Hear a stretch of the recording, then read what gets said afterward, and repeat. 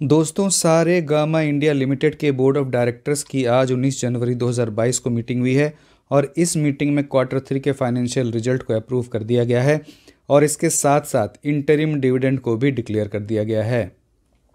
तो चलिए, पहले मैं आपको इंटरिम डिविडेंड के बारे में बताता हूँ, उसके बाद मैं आपको इसके फाइनेंशियल रिज़ल्ट के बारे में भी बताऊँगा।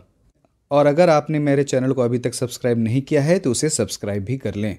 इस कंपनी ने तीस रुपये प्रति इक्विटी शेयर का डिविडेंड डिक्लेयर किया है तो आपको अपने हर शेयर पर तीस रुपये का डिविडेंड मिलने वाला है। अगर हम लोग इसे फेस वैल्यू से देखें तो ये थ्री हंड्रेड परसेंट बनकर आ रहा है, लेकिन अगर हम लोग इसके मार्केट प्राइस जो अभी फाइव थाउज़ेंड टू हंड्रेड है, उससे कंपेयर करें तो लगभग ज़ीरो पॉइंट सिक्स परसेंट है।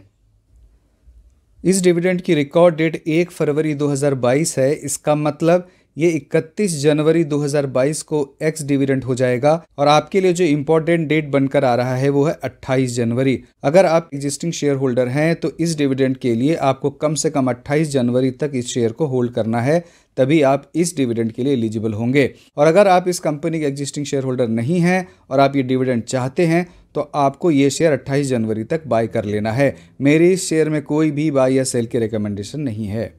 अब देखिए, ये इस कंपनी का कंसोलिडेटेड फाइनेंशियल स्टेटमेंट है और ये सारे फिगर्स मिलियंस में हैं।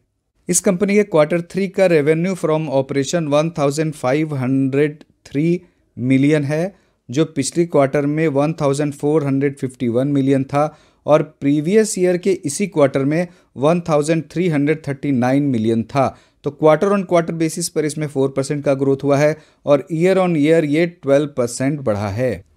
और अगर हम लोग O I B C I D मतलब operating income before content charges interest and depreciation को देखें तो क्वार्टर थ्री में ये 629 मिलियन है, जो प्रीवियस क्वार्टर में 535 मिलियन था और प्रीवियस ईयर के इसी क्वार्टर में 436 मिलियन था।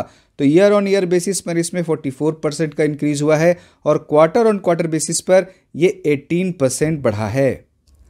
क्वार्टर थ्री का प्रॉफिट बिफोर टैक्स 580 मिलियन है, जो प्रीवियस क्वार्टर में 453 मिलियन था और प्रीवियस ईयर के इसी क्वार्टर में 414 मिलियन था।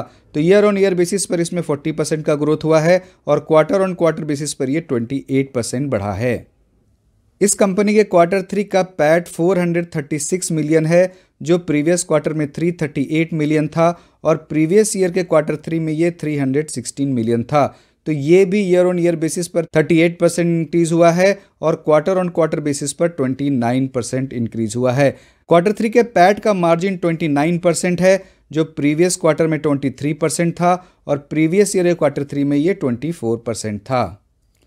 क्वार्टर थ्री का O I B C I D का मार्जिन 42 परसेंट है, जो प्रीवियस क्वार्टर में 37 परसेंट था और प्रीवियस ईयर के क्वार्टर थ्री में ये 33 परसेंट था। तो इस तरह से मुझे ये रिज़ल्ट रेवेन्यू और मार्जिन दोनों ही फ्रंट पे काफ़ी अच्छा लग रहा है। तो इस कंपनी ने अच्छे रिज़ल्ट पोस्ट किए हैं। मुझे उम्मीद है कि ये वीडियो आपको पसंद आया होगा। तो आप इस वीडियो को लाइक करें, अपने फैमिली मेंबर्स और फ्रेंड्स के साथ शेयर करें। धन्यवाद।